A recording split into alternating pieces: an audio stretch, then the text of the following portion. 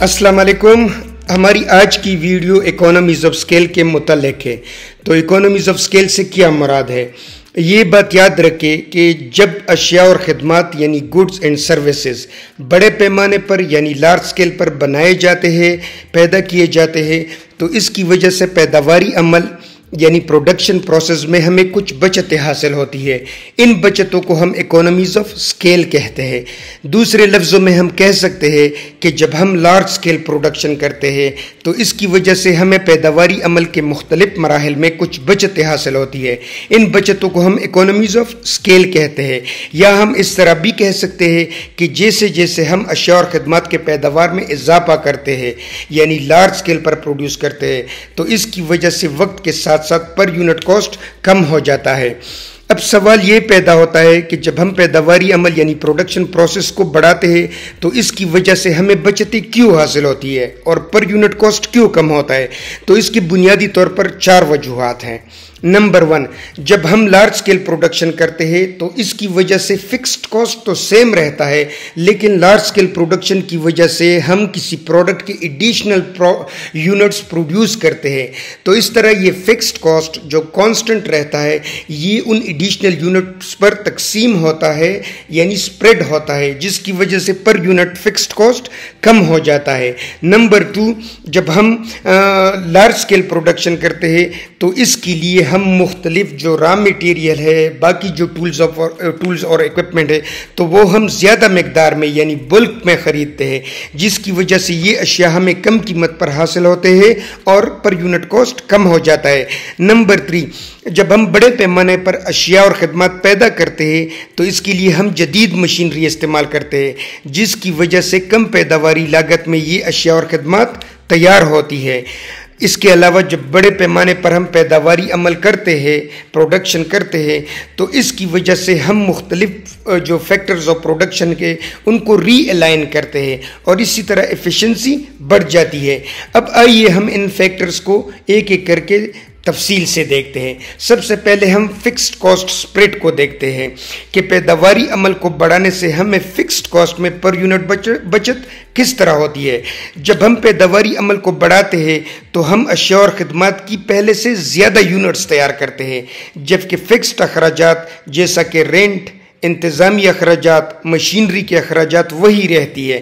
تو اسی طرح یہ فکسڈ کاسٹ اشیاء اور خدمات کی اضافی یونٹس پر تقسیم ہو جاتا ہے، جس کی وجہ سے پر یونٹ کاسٹ کم ہو جاتا ہے۔ یعنی اگر ہم آٹھ گھنٹے کی پروڈکشن کریں یا چوبیس گھنٹے کی پروڈکشن کریں تو زمین کا کرایہ اور مشینری اور اوزار اوزار کی جو ڈپریسیشن ہے، وہ وہی رہتی ہے سیم رہتی ہے۔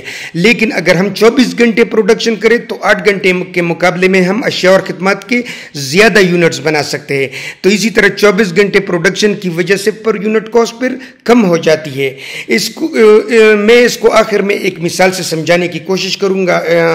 اس ویڈیو کے اینڈ میں۔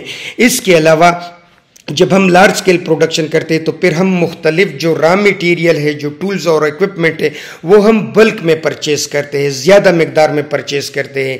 تو اسی طرح ہم ان بیٹر پوزیشن ہوتے ہیں کہ ہم اس را میٹیریل یا جو ٹولز اور اکوپمنٹ ہے، ان کے سپلائر سے نیگوشیٹ کریں۔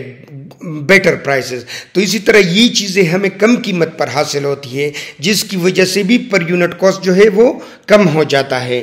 اس کے علاوہ جب ہم لارج سکیل پروڈکشن کرتے ہیں، تو اس کی وجہ سے ہم اس قابل ہو جاتے ہیں کہ ہم پروڈکشن یعنی پیداوار کے لیے جدید مشینری خرید سکیں، جس کی وجہ سے پروڈکشن ایفیشنسی بڑھ جاتی ہے اور پیداواری لاگت یعنی پروڈکشن کاسٹ کم ہو جاتی ہے۔ اس کے علاوہ جیسے جیسے پیداواری عمل یعنی پروڈکشن سکیل بڑھ جاتا ہے، تو ہم اپنے تجربات سے سیکھتے ہیں پروڈکشن کے پروسیس کو ریفائن کرتے ہیں فیکٹر آف پروڈکشنز کو ری الائن کرتے ہیں ضیاء کو روکتے ہیں ان ایفیشنسیز پر قابو پاتے ہیں۔ تو اس کی وجہ سے بھی پیداواری لاگت یعنی پروڈکشن کاسٹ کم ہو جاتی ہے۔ اس کو ہم ایک آسان مثال سے سمجھتے ہیں۔ ہم فرض کر لیتے ہیں کہ اگر ہم دو طرح کی پروڈکشن کرتے ہیں۔ ایک سمال سکیل یعنی سنگل شفٹ میں صرف آٹھ گھنٹے کے لیے کام کرتے ہیں اور ایک لارج سکیل یعنی تین شفٹ میں ہم ٹوئنٹی فور آور کام کرتے ہیں۔ تو دونوں صورتوں میں پھر کاسٹ کی یہ سچویشن ہوگی۔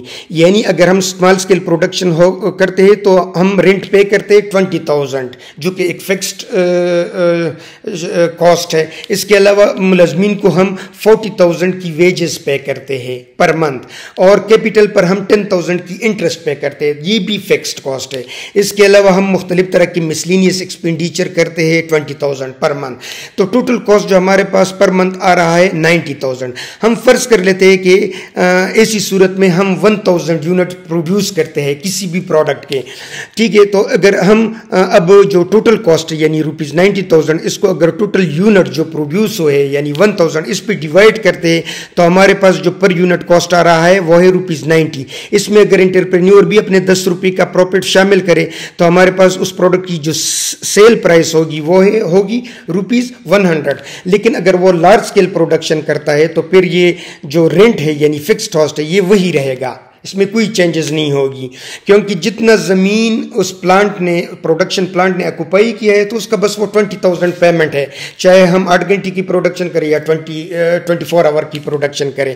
ٹھیک ہے تو جب ہم آٹھ گھنٹے کی پروڈکشن کرتے ہیں، تو ہم ملزمین کو چالیس ہزار روپے پے کرتے ہیں۔ لیکن اگر ہم ٹوئنٹی فور آور پروڈکشن کرتے ان تھری شفٹس تو اس کا مطلب یہ ہے کہ پھر ہم ویجز کی مد میں زیادہ اماؤنٹ پے کریں گے۔ یعنی اب ہم چالیس ہزار کو اگر تین کے ساتھ ضرب دے دیں، تو یہ ٹوٹل اماؤنٹ جو آ رہی ہے ویجز کی وہ one hundred and twenty thousand rupees کی آ رہی ہے۔ جبکہ انٹرسٹ پر جو کیپیٹل ہم پے کرتے ہیں پر منتھ تو اس کا اماؤنٹ بھی فکسڈ ہے۔ یعنی اگر ہم آٹھ گھنٹے کی پروڈکشن کرتے ہیں، تو بھی ٹین تھاؤزنڈ ہے۔ اور اگر ٹوئنٹی فور آور کی کرتے ہیں، تو وہ بھی ٹین تھاؤزنڈ ہے۔ ٹھیک ہے، اس کے علاوہ جو ویریبل کاسٹ ہے، وہ اگر ہم آٹھ گھنٹے کی پروڈکشن کرتے ہیں، تو یہ روپیز ٹوینٹی تھاؤزنڈ آ رہا ہے۔ لیکن اگر ہم ٹوئنٹی فور آور کی پروڈکشن کریں تھری شفٹس میں، تو پھر یہ ٹوئنٹی تھاؤزنڈ کو ہم تھری کے ساتھ ملٹیپلائی کریں گے۔ اس کا مطلب یہ کہ ابھی جو کاسٹ آ رہی ہے ویریبل کاسٹ وہ ہے سکسٹی تھاؤزنڈ روپیز یعنی یہ مسلینیس ایکسپینڈیچر ہے۔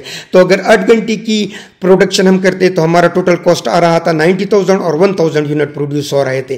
لیکن اگر ہم لارج اسکیل پروڈکشن کرتے for twenty four hours and three shifts تو اس کا مطلب یہ ہے کہ اب جو ٹوٹل کاسٹ آ رہا ہے وہ ہے two hundred and ten thousand لیکن اب ہم زیادہ یونٹس پروڈیوس کر رہے ہیں یعنی تھری تھاؤزنڈ یونٹ پروڈیوس کر رہے ہیں، تین گنا تین گنا زیادہ۔ تو جب ہم آٹھ گھنٹے کی پروڈکشن کرتے ہیں یعنی اسمال اسکیل پروڈکشن تو ایسی صورت میں جو پر یونٹ کاسٹ آ رہا تھا ہمارے پاس یعنی ninety thousand divided by one one thousand تو وہ روپیز نائنٹی ہے۔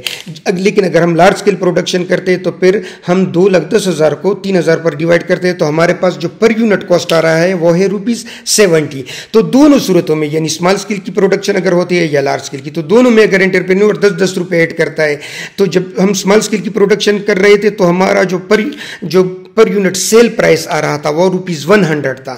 لیکن اب جب ہم لارج اسکیل پروڈکشن کر رہے تو ہمارے پاس جو per unit cost per unit sale price آ رہا ہے، وہ ہے روپیز ایٹی تو اس کا مطلب یہ ہے کہ جیسے ہی ہم لارج اسکیل پروڈکشن کرتے ہیں تو ہمیں رینٹ کی مد میں انٹرسٹ کی مد میں پر یونٹ کاسٹ جو ہے، اس میں کچھ سیونگس ہو رہی ہے اور ان سیونگ کا امپیکٹ یہ ہے کہ اب جو پر یونٹ کاسٹ ہمارے پاس آ رہا ہے وہ ہے روپیز سیونٹی تو اسی طرح ہم جو per unit sale price fix کرتے ہیں وہ بھی ہم کم فکس کر سکتے ہیں۔